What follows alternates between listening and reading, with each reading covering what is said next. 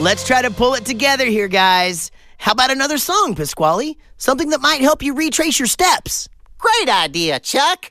Oh, I know. Let's go back in time.